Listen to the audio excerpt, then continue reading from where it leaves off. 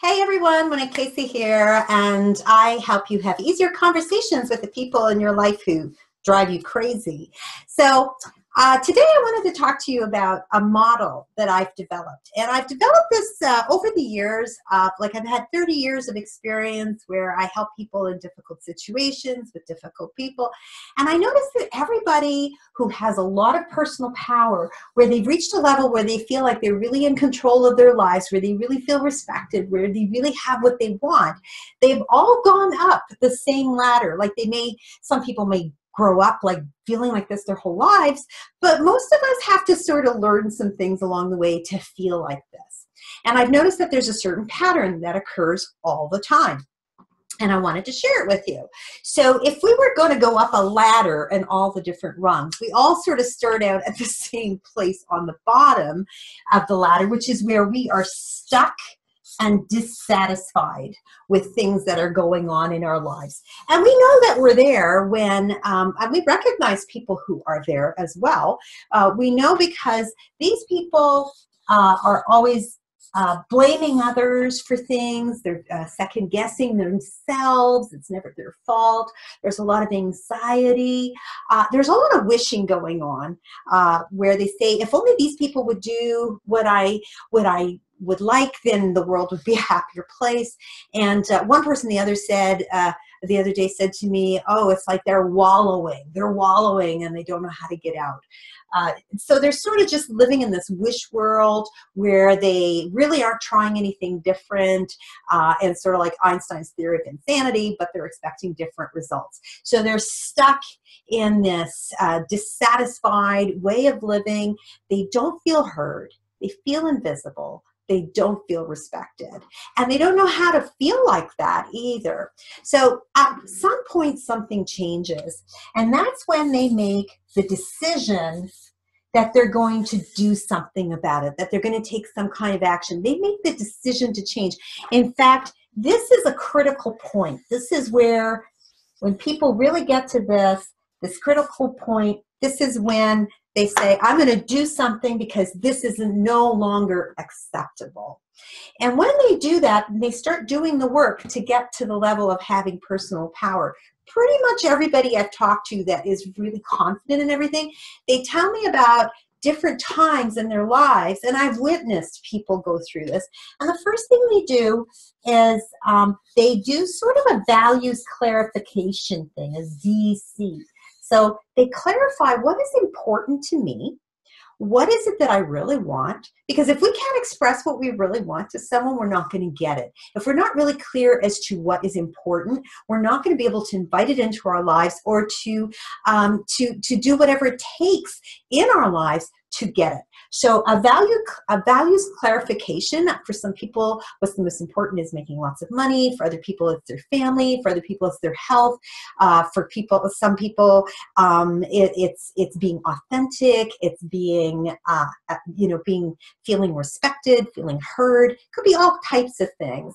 So we need to know what is it that is important to us. Then the next thing they do, once they realize what's important, they start putting action plans into place. So I help people um, who are doing things where they're dealing with difficult people. And so when they've done their values clarification as to what they want from these people, you're going to notice that I said action plans because there's no one thing that we do that's going to be the same. Even though we have the same values across the board, whether we're at work or we're at home, doesn't matter we have the same values but the people we're dealing with have we have a different um, power dynamic in the relationship or a different reason for the relationship so the way we're going to we're going to approach um, a problem with our mother-in-law is not going to be the same way how we're going to ask a boss to change their behavior or expectations of us or a colleague or a subordinate. We really have to do it differently. So we need different action plans for the different types of uh, relationships.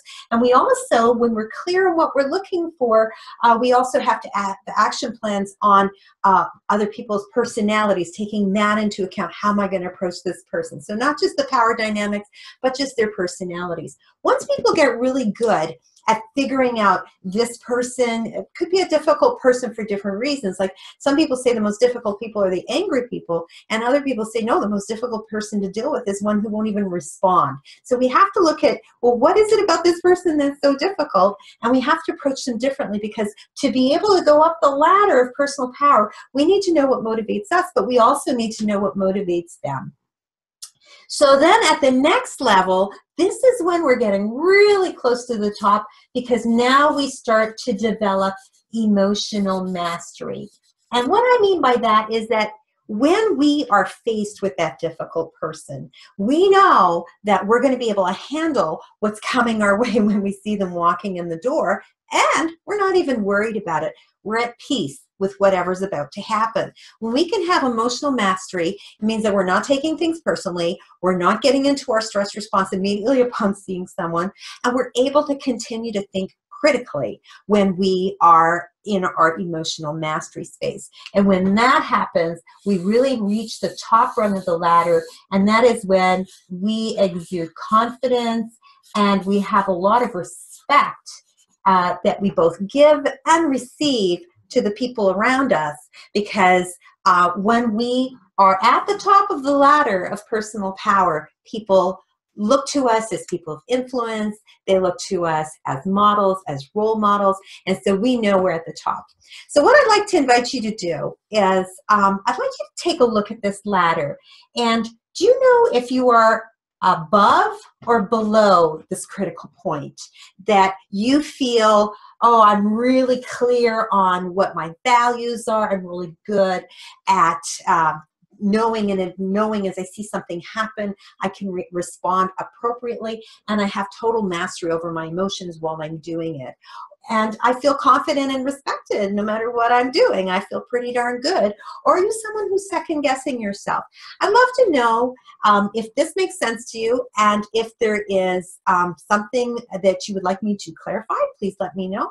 And uh, reach out to me if you're interested in knowing more about my coaching programs. I'm gonna, I'm right now, I've got some spots open for discovery calls. So if you're interested in going up the ladder, now's maybe a good time for us to talk and see if I'm the one to help you with that.